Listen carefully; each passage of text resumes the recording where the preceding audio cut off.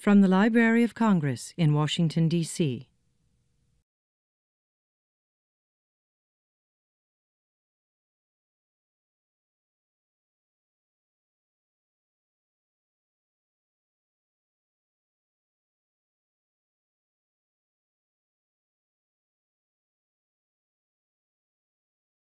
We're thrilled to honor one of America's great voices on what would have been his 135th birthday. You can read more about Stevens and about our two featured readers, Jennifer Michael Hecht and Peter Streckfus, in our print program, and we're thrilled to have them both here. A word about the program. Our two featured readers will read their favorite Stevens selections and connect them to their own work. Following their readings, Mark Manavong of our Rare Book and Special Collections Division will say a few words about the tabletop display of Stevens materials in our collection and about the invaluable work his division does to ensure that future generations can connect to the exemplars of our culture. To learn more about the library's Rare Book and Special Collections Division, you can visit its website at www.loc.gov slash rr slash rarebook. And now, please join me in welcoming Jennifer Michael Hecht and Peter Streckfus.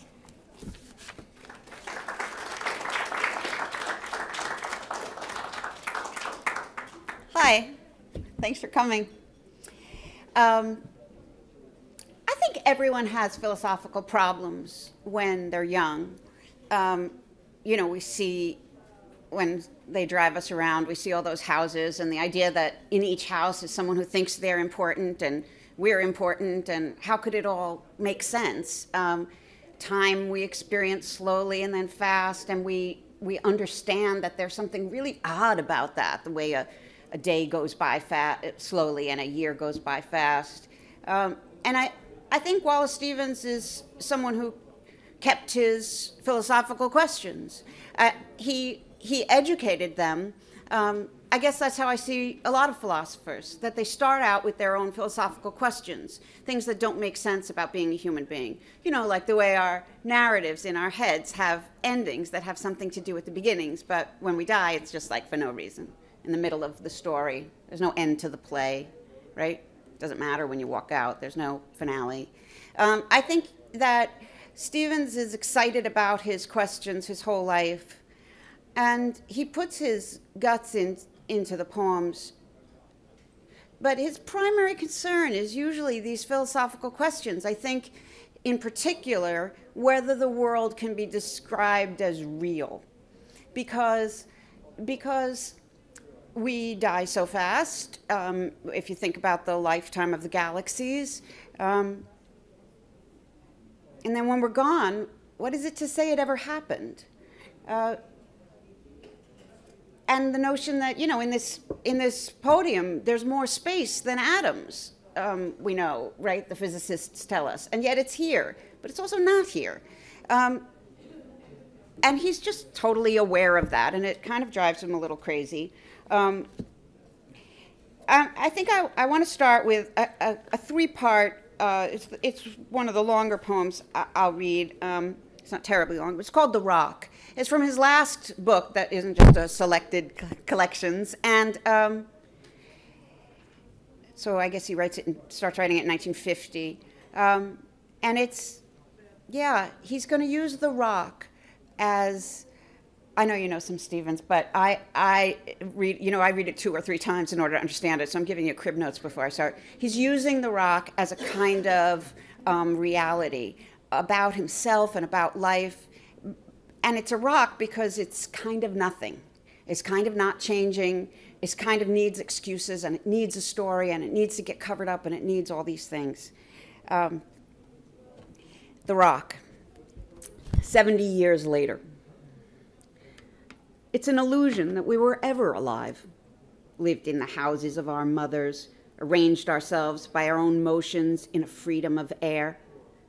Regard the freedom of 70 years ago it is no longer air. The houses still stand, though they are rigid in rigid emptiness. Even our shadows, their shadows, no longer remain. The lives these lived in the mind are at an end. They never were. The sound of the guitar were not and not. Absurd. The words spoken were not and are not. It is not to be believed. The meeting at noon at the edge of the field seems like an invention, an embrace between one desperate clod and another in a fantastic consciousness, in a queer assertion of humanity. A theorem proposed between the two, two figures in a nature of the sun, in the sun's design of its own happiness, as if nothingness contained a métier, a vital assumption, an impermanence in its permanent cold, an illusion so desired that the green leaves came and covered the high rock, that the lilacs came and bloomed like a blindness cleaned, exclaiming bright sight as it was satisfied.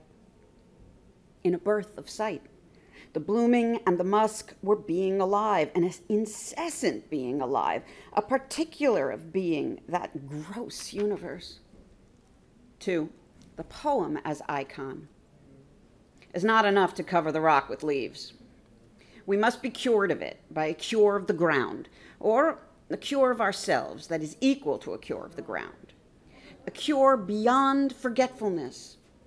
And yet, the leaves, if they broke into bud, if they broke into bloom, if they bore fruit, and if we ate the incipient colorings of their fresh culls, might be a cure of the ground. The fiction of the leaves is the icon of the poem, the figuration of blessedness, and the icon is man. The pearled chaplet of spring, the magnum wreath of summer, time's autumn snood, its copy of the sun. These cover the rock. These leaves are the poem, the icon, and the man. These are a cure of the ground and of ourselves. In the predicate that there is nothing else, they bud and bloom and bear their fruit without change. They are more than leaves that cover the barren rock. They bud the whitest eye, the pallidest sprout, new senses in the engendering of sense, the desire to be at the end of distances, the body quickened, and the mind in root. They bloom as a man loves, as he lives in love. They bear their fruit so that the year is known. As if its understanding was brown skin, the honey in its pulp, the final found, the plenty of the year and of the world. In this plenty, the poem makes meanings of the rock, of such mixed motion and such imagery that its barrenness becomes a thousand things and so exists no more. This is the cure of leaves and of the ground and of ourselves. His words are both the icon and the man. So, you know, he doesn't worry too much about being understood, um, but he's working out something that is a consistent problem. Um, I thought, uh, now I have to remember what I had in mind. Um, yeah, okay. Here's a poem of mine that is also about thinking. Um, and I, I, do have to say that Stevens stands out um, among poets as being willing to talk about his philosophical problems straight out. Um, there's a kind of cult of talking about the big ideas in life through the domestic and the small, the leaf and the, the, the, the drop. Um, but sometimes it's fun to just say, what the hell is going on here? Um, and Stevens is willing to do that time and again. Um, and I think everybody who does it now is on some level being influenced by his willingness to write, to versify his philosophy. Um, this is Zoo Review. He worries so much about whether the world is real, given all the is- issues of skepticism. I think I worry a lot in a similar way about how we get from one idea to another, um, about how we innovate, about how the new thing comes. Um, and I picked some poems that look like that. So this is a Villanelle patterned poem. Zoo Review. Uh, it's from my latest book. To begin is to let things out of control. The park's caged condor stumbles to the fore. The mind cannot be told what it does not know. Let us begin by calling a massive bird a soul, each wing wide as the height of a man or more. To begin is to help things out of control. With a clasp, of fence in beak, and a forceful fold of what was given, then out the rifted door. The mind must graze what it cannot hold. If the population of the park took up a goal of leaving, it wouldn't stop to wonder where to go. To begin is to chase thoughts out of control. Likewise, as love and birth have come to show, much cannot be seen before we are ashore, where minds find what at sea they did not know. The bird adjusts its shoulder feathers like a stole, a bristling cape, a heft of flight, a height left low. To begin is to let things out of control. The mind cannot be told what it does not know. Um, so you can see again, uh, wearing wearing my questions right out there. Um, okay, here's a tiny poem uh, by Stevens, um, "Disillusionment of Ten O'clock." It's one of his real famous ones. The houses are haunted by white nightgowns. None are green, or purple with green rings, or green with yellow rings, or yellow with blue rings. None of them are strange, with socks of lace and beaded censers. People are not going to dream of baboons and periwinkles. Only here and there, an old soldier, drunk and asleep in his boots, catches tigers in red weather. I think this poem is famous mostly because of its catches tigers in red weather. It's a it's a movement of surrealism that we don't see in other American poets at this time, and that it allows that kind of thing. Um, in a way, it's just following on Keats's uh, mixing of adjectives. So he says one thing and he says the opposite, both to describe something.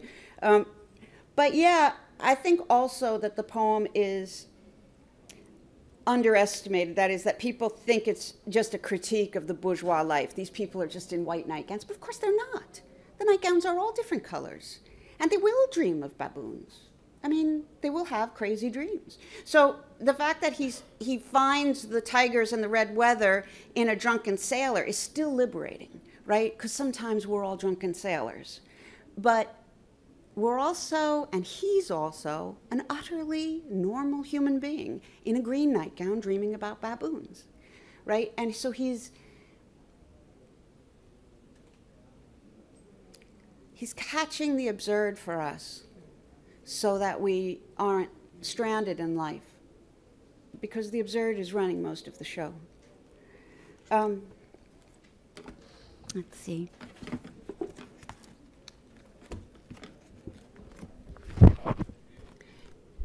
This would be faster if I'd had stickies. Oh, yeah, here's a little one, um, again from my new book, on reading the letters of the dead. Why were the dead so timid while they lived? In mind, they step in groans, toes on point to test the sand. Despite traversing seas and rushing gold, they still seemed cautious to a madness. Why did they not act more like us? I kid. Still, why were the dead so timid while they lived?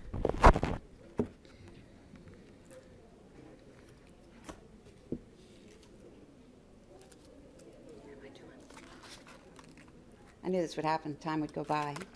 Um, there's just so much deliciousness here in my Stevens. Um, man on the dump. Do I have time for the man on the dump? Uh,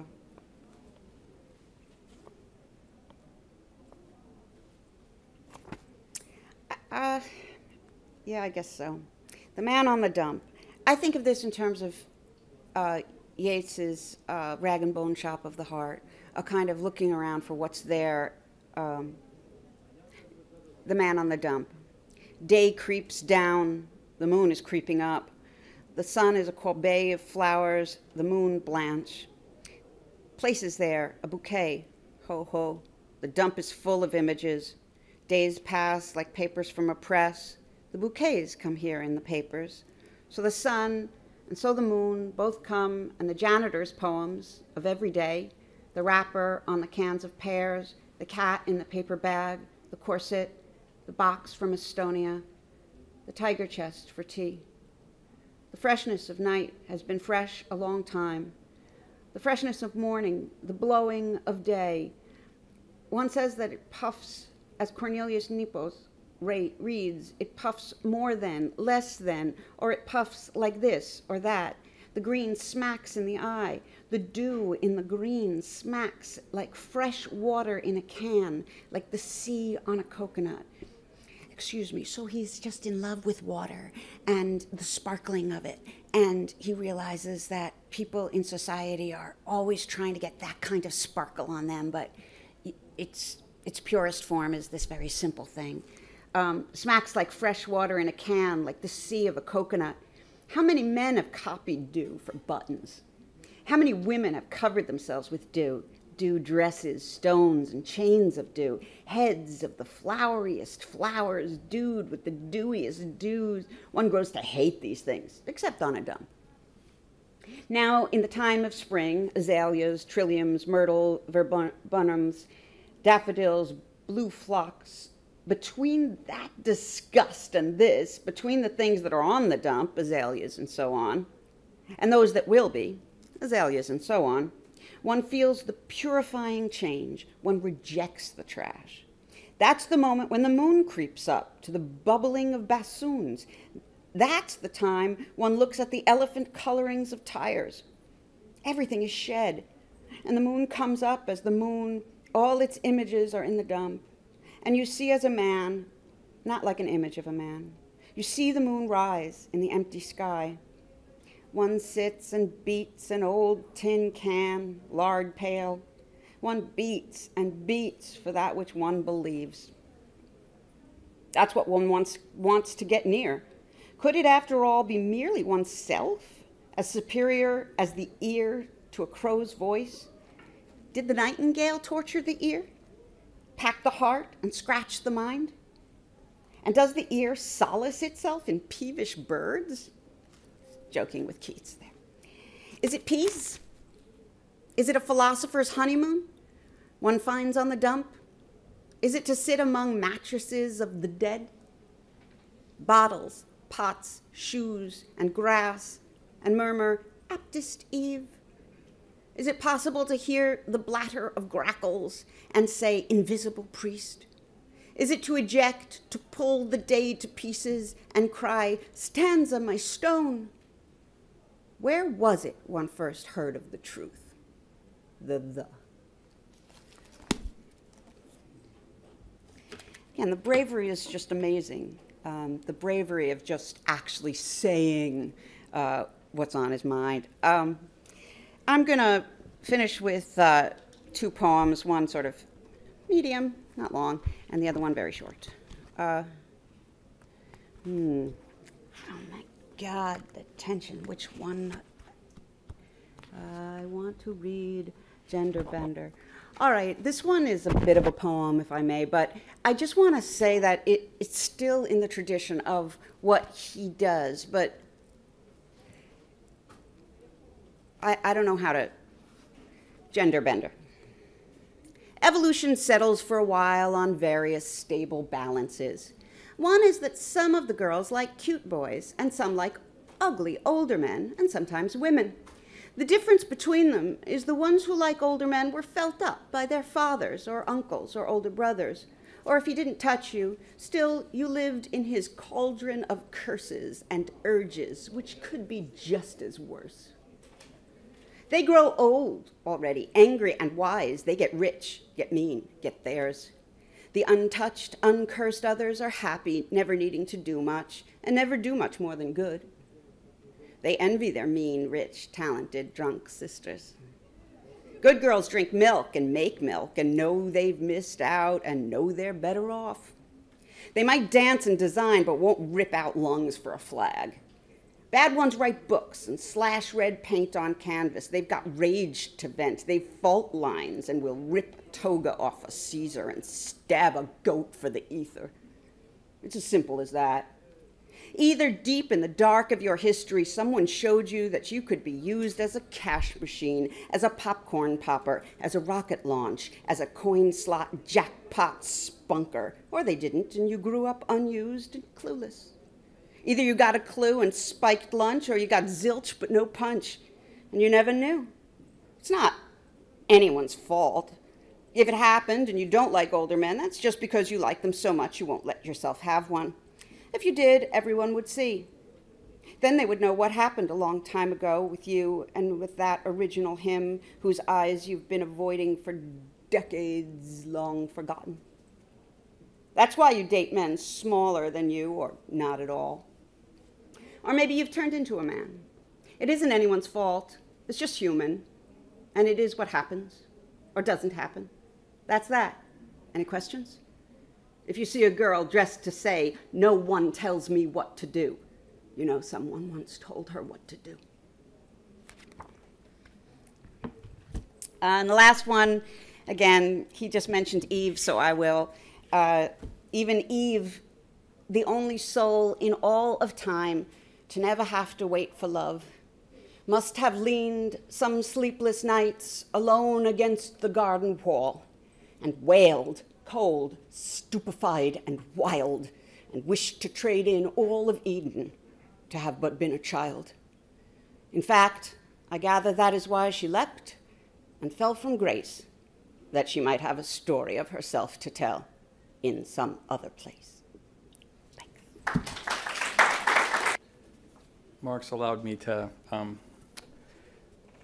use one of the volumes to read a poem I decided to add uh, while I was on the train here. This is from um, uh, Ideas of Order. Mozart, 1935.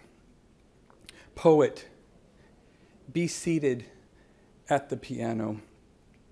Play the present. It's who, who, who. It's shoo, shoo, shoo. It's Rick and Nick. It's envious cachinnation. If they throw stones upon the roof while you practice arpeggios, it is because they carry down the stairs a body in rags. Be seated at the piano. That lucid souvenir of the past, the divertimento, that airy dream of the future, the unclouded concerto. The snow is falling. Strike the piercing chord. Be thou the voice, not you. Be thou, be thou the voice of angry fear, the voice of this besieging pain. Be thou that wintry sound as of the great wind howling by which sorrow is released, dismissed, absolved, and starry placating. We may return to Mozart. He was young, and we, we are old. The snow is falling, and the streets are full of cries. Be seated, thou.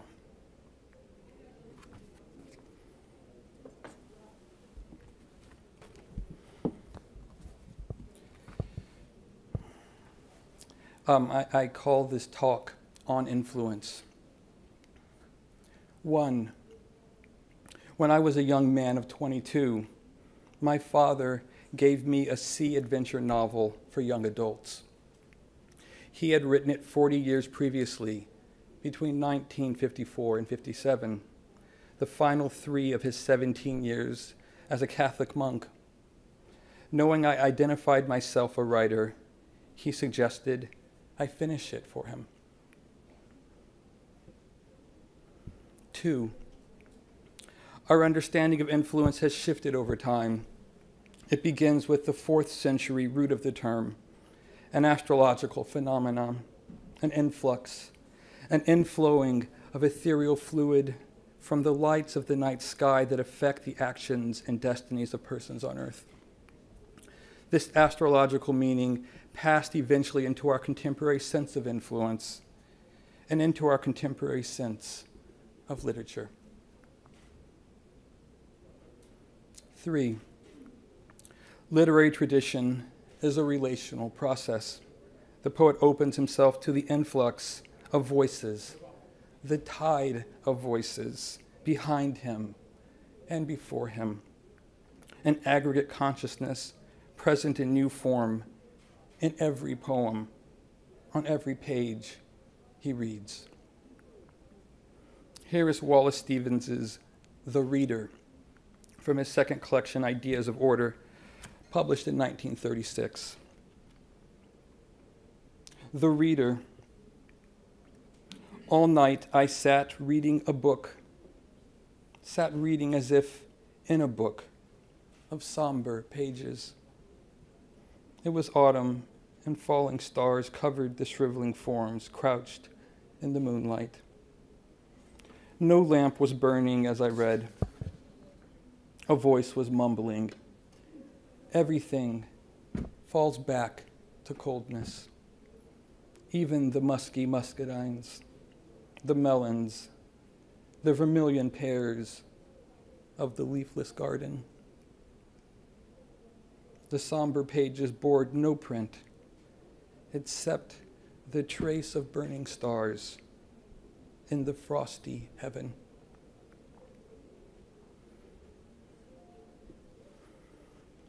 Four, stepping into this aggregate consciousness, becoming its channel he changes it and finds himself more truly himself and more strange. Here again, Stevens, this time from his first collection, Harmonium, published in 1932.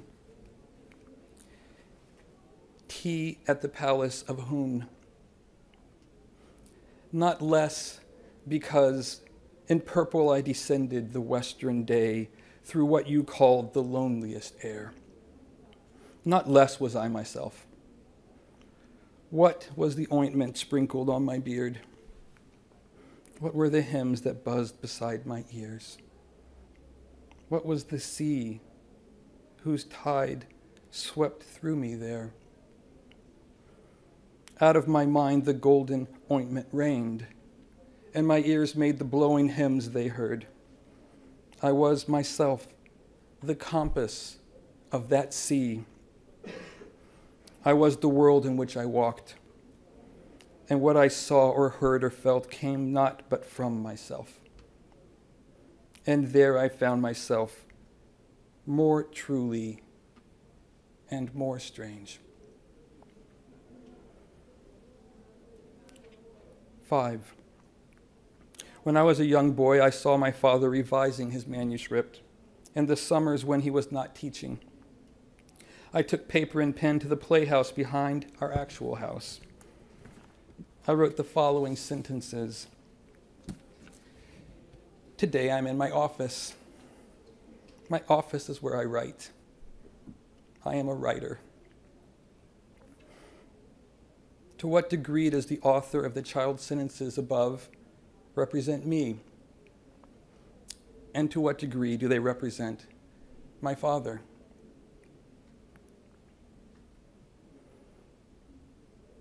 Six. Over time, I have become increasingly interested in the various authors represented in my own work, and more broadly, interested in the many senses in which my work, unique to me, is not my own W.S. Merwin, Jorie Graham, Eric Pankey here today, Louise Glück, John Ashbery, themselves channeling Wallace Stevens, wash through, speak through poems I call mine. This is not a mark of the poem's success at all. Rather, it is a mark of poetry in any sense. Seven, Stevens' most beautiful poems represent a consciousness among other consciousnesses, being one with others. They are often colored by an abstract sense of the world, an effort to pull from the world the cover by which the single individual views it. The poem is a struggle with the inaccessibility of the abstract, Stevens says. A struggle with, in other words, the inaccessibility of the supreme fiction, what the world may be beyond our experience of it. An attempt on the part of the poet to touch that fiction with others. In his poem, idea, The Idea of Order at Key West, we are all Ramon Fernandez. And here I'll read that poem. She sang beyond the genius of the sea. The water never formed to mind or voice, like a body, wholly body, fluttering its empty sleeves. And yet its mimic motion made constant cry, caused constantly a cry that was not ours, although we understood, inhuman, of the veritable ocean. The sea was not a mask, no more was she. The song and water were not medleyed sound, even if what she sang was what she heard, since what she sang was uttered word by word. It may be that in all her phrases stirred the grinding water and the gasping wind. But it was not she and not the sea we heard. For she was the maker of the song she sang. The ever hooded, tragic gestured sea was merely a place by which she walked to sing. Whose spirit is this? We said because we knew it was the Spirit that we sought and knew that we should ask this often as she sang. If it was only the dark voice of the sea that rose, or even colored by many waves, if it was only the outer voice of sky and cloud, of the sunken coral water walled, however clear, it would have been deep air the heaving speech of air, a summer sound repeated in a summer without end, and sound alone. But it was more than that, more even than her voice and ours, among the meaningless plungings of water and the wind, theatrical distances, bronze shadows heaped on high horizons mountainous atmospheres of sky and sea. It was her voice that made the sky acutest at its vanishing. She measured to the hour its solitude. She was the single artificer of the world in which she sang.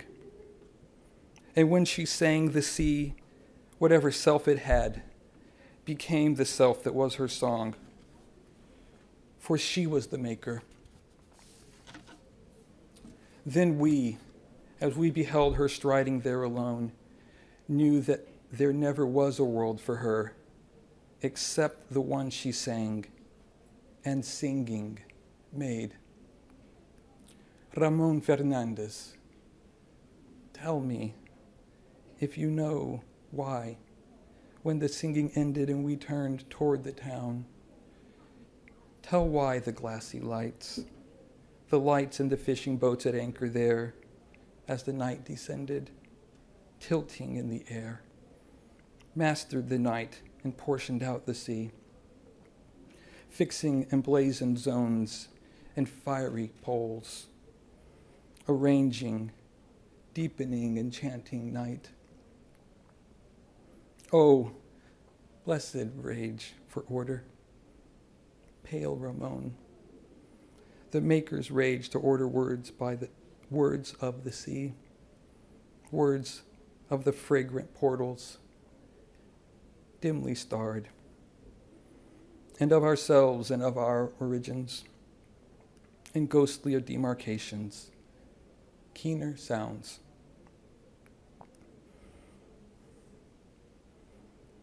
Eight.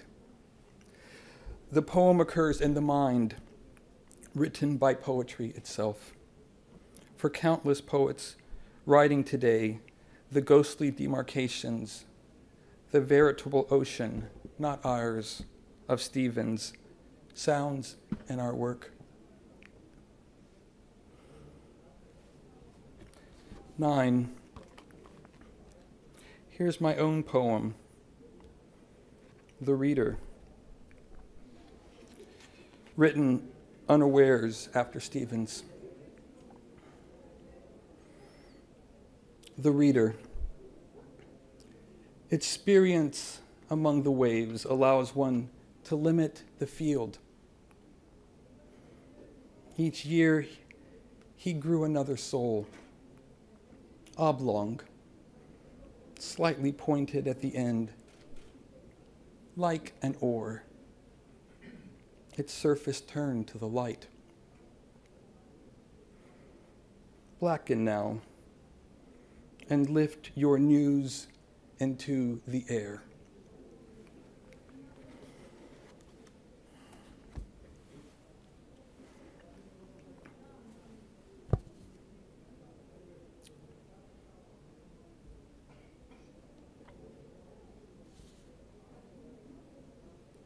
Ten. After my father passed away, some 20 years after he gave me the manuscript of the novel of Sea Adventure, I wrote a poem to him, a dialogue with the child protagonist of his novel. A dialogue composed almost completely of language taken directly from his novel.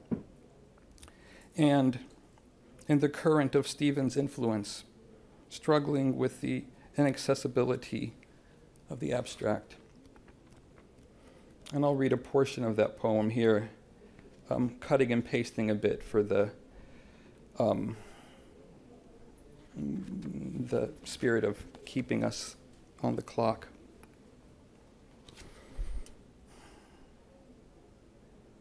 Now, my dear, it's called erring, E R R I N G. Now, my dear, a golden life. I will dictate your prayers.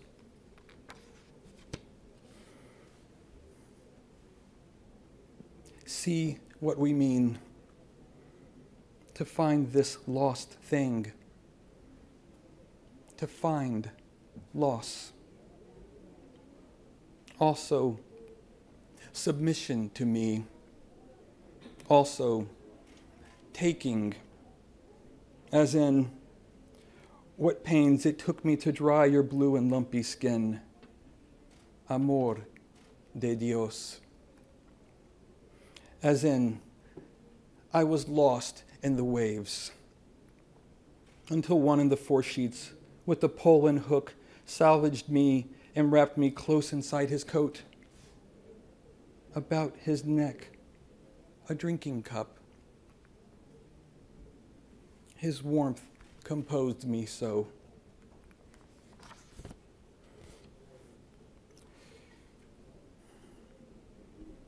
There were complaints from the hull and cargo at the slapping blows of the monster.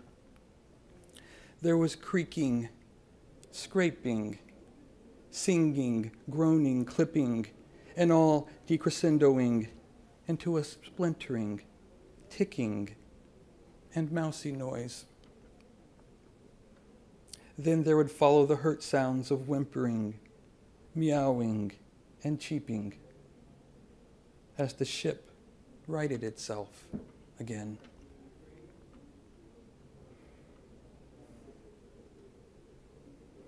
Mounted before me, you pointed to the sea village as we came to the lee of the island.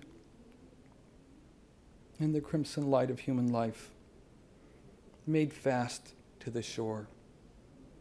A dhow waited. Its lateen sheet rattled in the wind.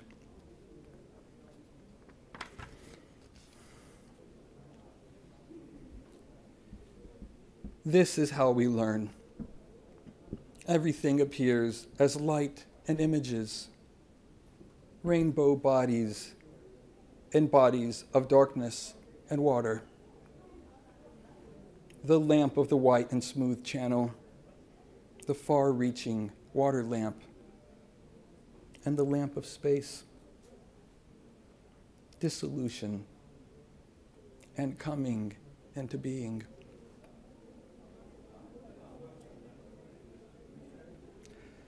Later, they began to occupy themselves with reading, feeding the fowls, and smothering the charcoal embers.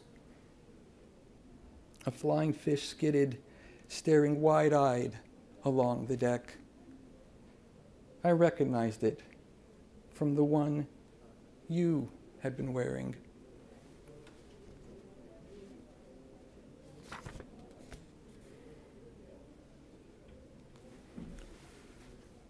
Labyrinth filled with fjords, bays, inlets, forks, and a twisting.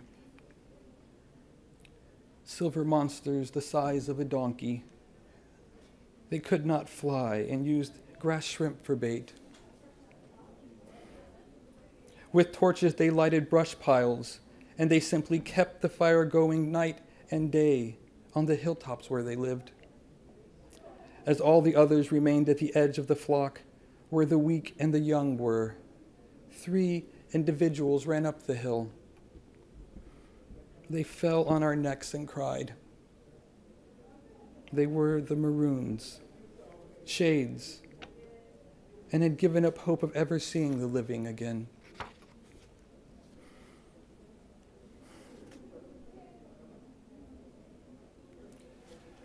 Where is my Father. He is there, close to the lips, with the forefinger and thumb, which means to speak.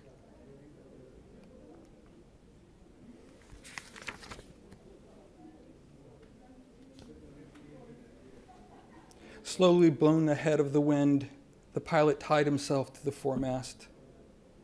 He wanted to search for the corpses of the drowned. By dawn, most of them would be floating, face down, with crabs hanging on and disputing their bodies.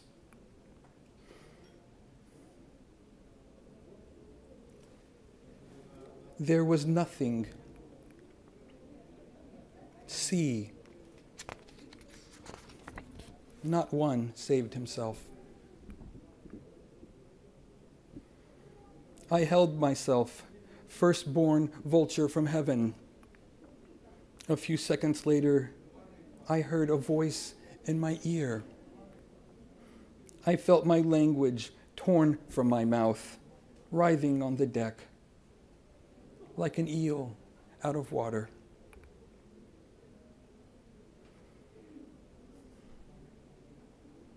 You shall be my page.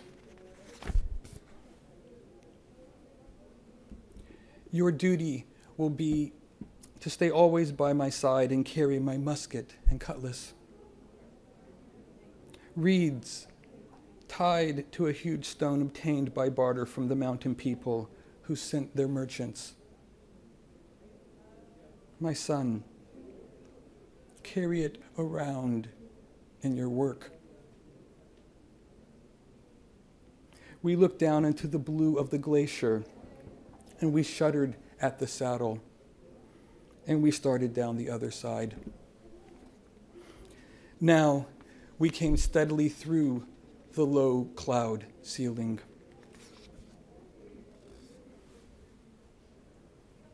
Now then, you know the whole story. Proudly we sing this day, pour out mellow notes, pull Pull, compadre, so tear away from me. Lift my hearts to heights serene. Painfully, My head will never be the light I remember its parents meant, made and presenting to me, and presented to me, in gratitude.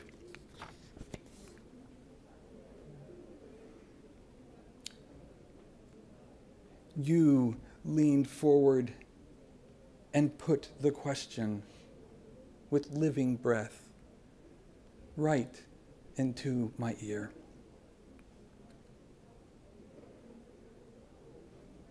And there I will keep it, like the wife of Lot, the historian, my position ever gazing astern.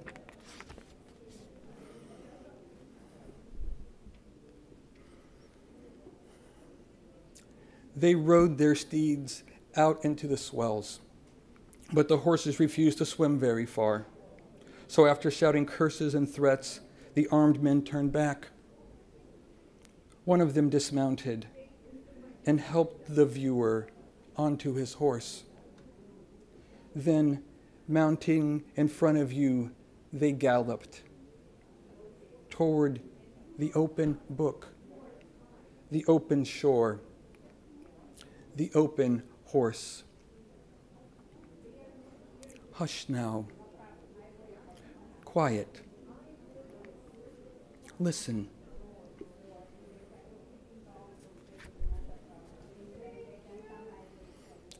Thank you.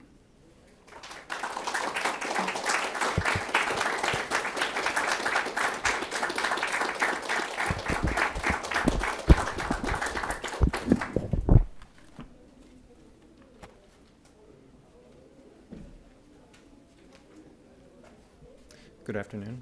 My name is Mark Manavong, and I'm the curator for poetry collections here at, uh, at the Rare Book and Special Collections Division here in the library. Um, I'd like to thank our poets, first of all, once again, for being here, and also the Poetry and Literature Center for organizing this event. The Rare Book and Special Collections Division holds more than a million items spread across 90 some special collections. Um, over the past 10 years, we've been actively trying to strengthen our poetry holdings, and uh, that's done mainly through uh, concentrating on certain collections like our Poets Laureate collection, uh, where we collect their works comprehensively, um, our small presses and fine presses, artists' books, broadsides, modern first editions, and LGBT authors. Um, today, and for this display, you'll see some materials that come from many of those collections. So I'd invite you to come up and take a look. The division is always open Monday through Friday, uh, and we're happy to help you with any of your research needs. Okay.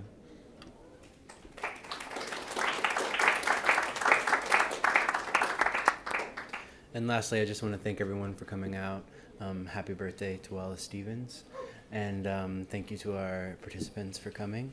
And their books are outside for sale. So please grab one. I'm sure they wouldn't mind signing.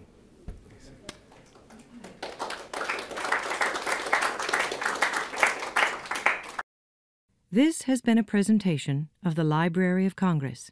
Visit us at loc.gov.